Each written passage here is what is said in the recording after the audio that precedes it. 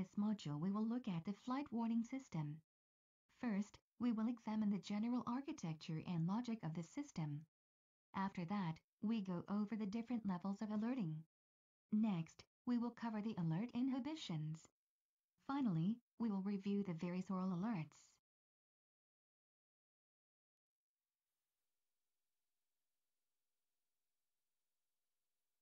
The Flight Warning System, or FWS, is designed to monitor all systems of the ATR and provide warnings for malfunctions, abnormal situations, and flight envelope deviations.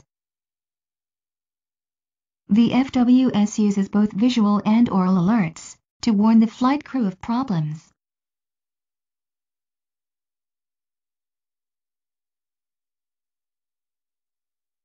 Alert messages are displayed in the alerting window in the lower left corner of the engine and warning display, or EWD. If there is a procedure associated with the alert, it is displayed in the procedure window to the right of the alerting window.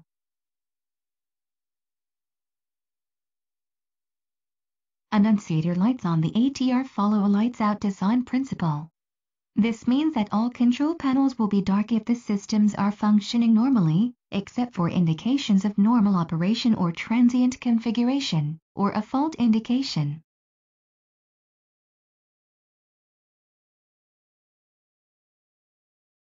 Visual alerts are color-coded. Red represents a warning about a configuration that requires immediate action. Amber represents a caution about a configuration that does not require immediate action. Green represents normal operation. Cyan represents normal transient configuration. And white represents a system that is selected off.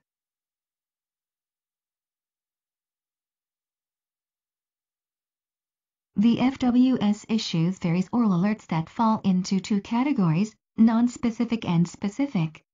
Non-specific aural alerts are accompanied with alert messages and the illumination of the master caution or master warning lights whereas specific aural alerts are not. This screen is interactive. Click on the icons to learn what the different aural alerts sound like.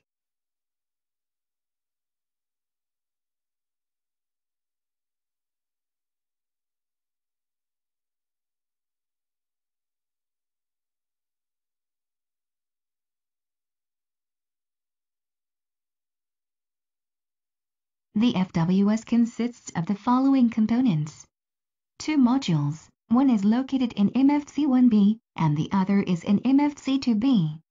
Two core processing modules, or CPMs, one is located in each core avionic cabinet, or CAC.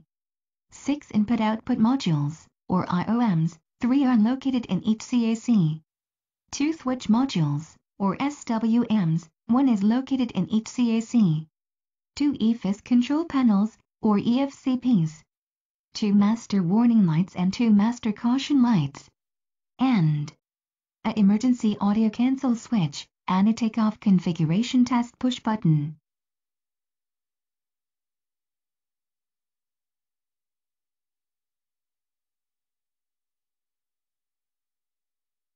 The FWS is managed by two flight warning applications, or FWA.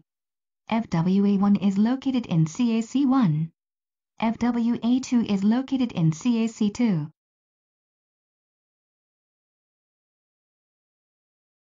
When a problem occurs, the detection sequence follows three distinct phases. Detection, identification, and isolation.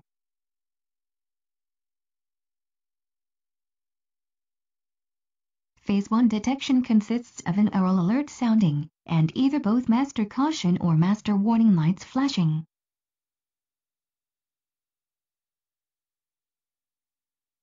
Phase 2 identification consists of an alert message in the alerting window on the EWD. The message provides a general idea of the problem. It is color-coded according to the severity of the problem. Phase 3 isolation consists of local alerts, visual indications on the control and indicating panels of the affected system. An example of this would be an illuminated amber caption in a push button.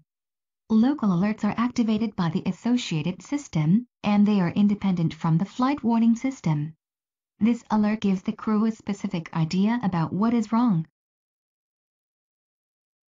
System display pages on the multifunction display, or MFD, display a simplified diagram of various systems. When an alert has been triggered, the associated system display page will highlight the problem by means of a colored icon.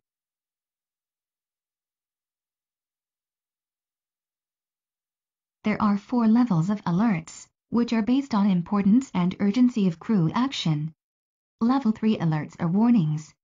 These are triggered by serious system failures, or when the aircraft is in an unsafe configuration or is exceeding a limit.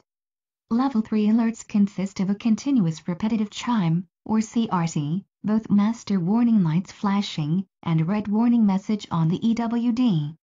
Some warnings may include a specific aural warning, such as the stall warning.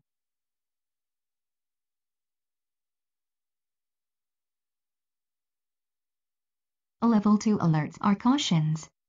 These are triggered by system failures that do not have an immediate impact on the safety of flight. Level 2 alerts consist of a single chime, both master caution lights flashing, and an amber caution message on the EWD. Level 1 alerts are advisories. These are triggered by situations that require crew monitoring. In general, advisories occur when there is a loss of system redundancy. Level 1 alerts consist of an amber caution message on the EWD. There are no aural alerts associated with advisories. Level 0 alerts are information. An example of a Level 0 alert is DME hold. Level 0 alerts are displayed in green, cyan, or white. These alerts are not handled by the FWS, so there are no associated alert messages on the EWD.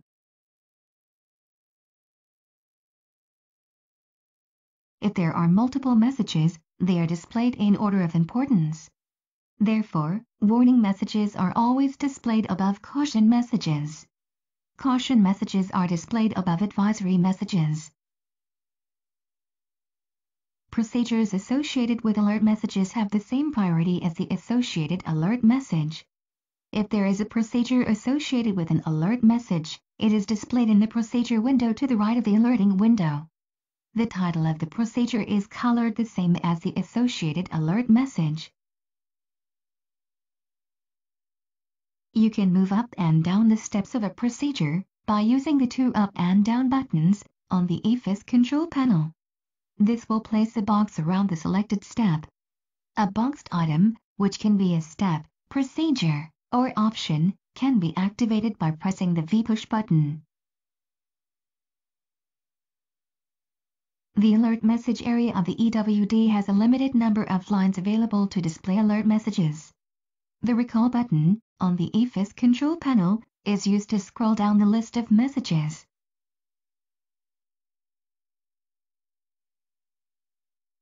Messages are removed when the problem that triggered the alert in the first place no longer exists. In the event a problem persists, some messages can be cleared after the applicable checklist was run. These usually involve level 2 or 1 alerts. These messages can be removed from the EWD by pressing the Clear button on the EFIS control panel. This will also remove the checklist if one was displayed. During the descent, you will recall these messages by pressing the Recall button. This is done to remind the crew of any conditions that still exist. Click on the Clear button to clear messages.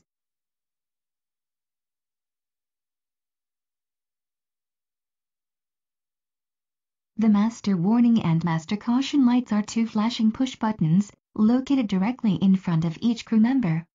They're designed as attention grabbers.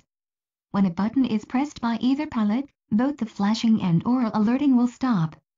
Click the left master caution light to extinguish both lights.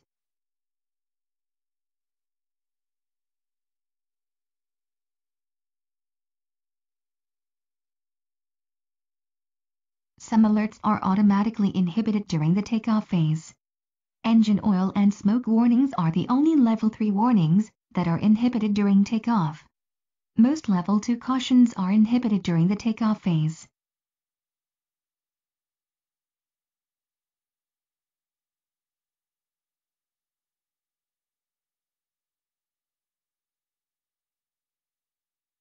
The takeoff inhibitions are cancelled automatically when the landing gear unlocks for retraction or manually when the recall button is pressed.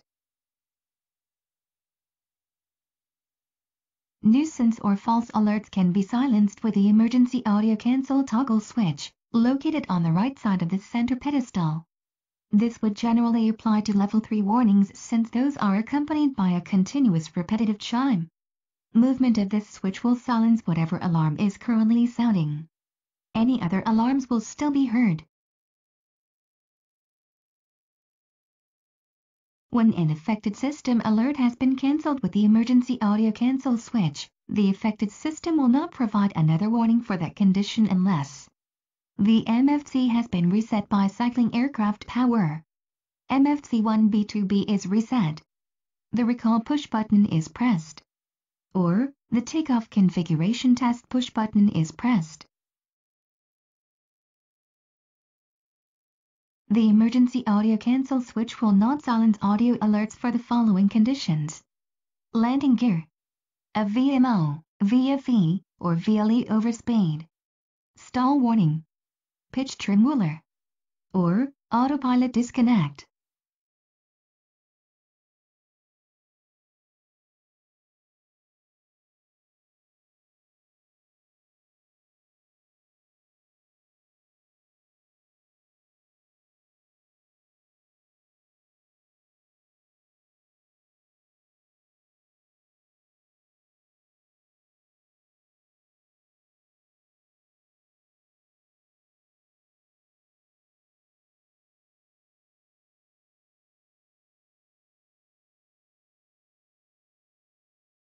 Next to the emergency audio cancel switch is the takeoff configuration test push button. This button is pressed before every takeoff to check for correct aircraft configuration. The test works by simulating the power levers being placed in the takeoff position. The system checks that the flaps are in the takeoff position. Pitch trim is in the green range. The aileron lock is disengaged the power management rotary knob is in the takeoff position, and the travel limiting unit is in the low speed configuration.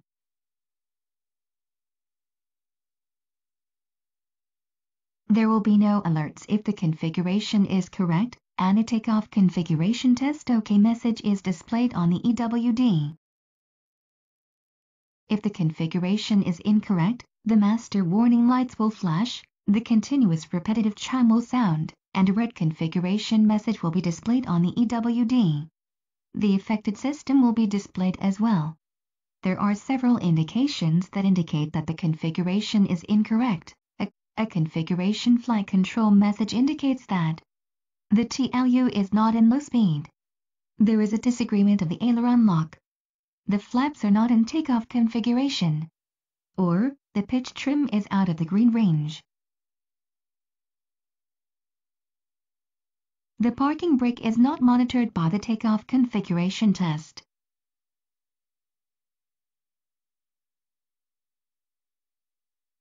There is built-in redundancy to handle a failure of the flight warning system itself.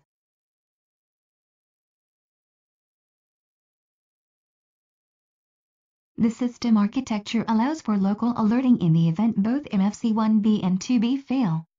This is indicated by an amber MFC message on the EWD. The associated fault lights illuminate steady on the MFC panel, and both master caution lights illuminate without flashing. In this situation, all level 2 alerts will not be processed, so the crew would have to monitor the control panels on the overhead panel. In addition to the level 2 alerts, the following level 3 alerts will not be processed configuration, engine oil, and propeller brake. All other level 3 alerts will be displayed on the EWD. In other words, there will be no flashing master warning lights or continuous repetitive chime.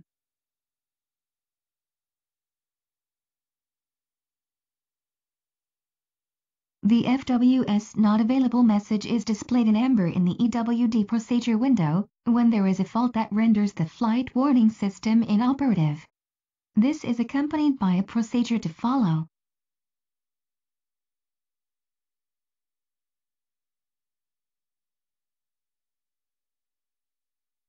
Now we will take a look at the specific conditions that trigger aural alerts.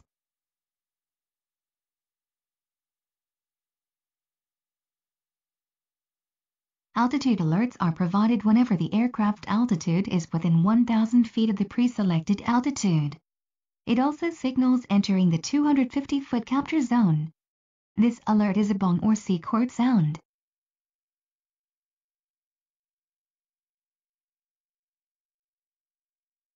The overspeed alert or clacker is heard anytime there is an overspeed condition for VMO, VLE, or VFE-VFO.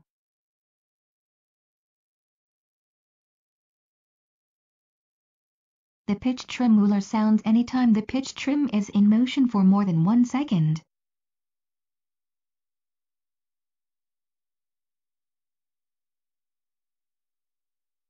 Stall warnings are detected by the angle of attack, or AOA probes. When a stall is sensed, an aural alert sounds, and the MFC will activate the stick shaker. When the angle of attack becomes excessive, the MFC will activate the stick pusher. The stick pusher is operational as long as any two MFC modules are operating.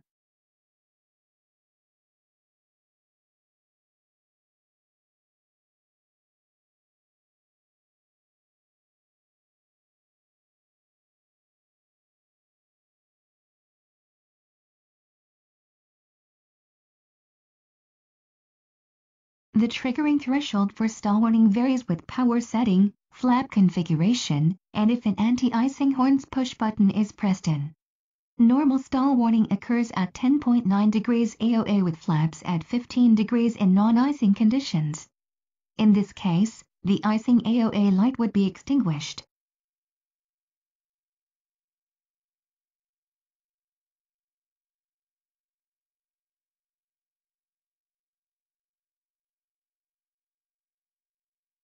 In icing conditions, when a horns push button is pressed and the icing AOA push button is illuminated, the stall warning threshold reduces. Instead of activating at 10.9 degrees AOA with flaps at 15 degrees, the stall warning activates at 8.4 degrees AOA.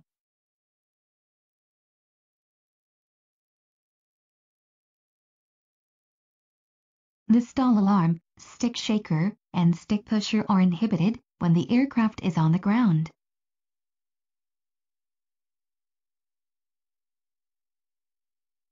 Stick pusher triggering varies between 10.6 and 14.3 degrees AOA depending on the same factors. These factors are power setting, flap configuration, and anti-icing configuration.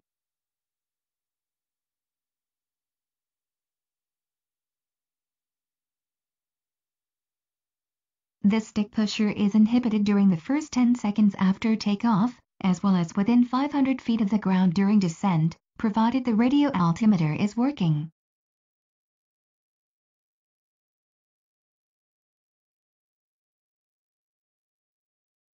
There is a priority order for the audio alerts.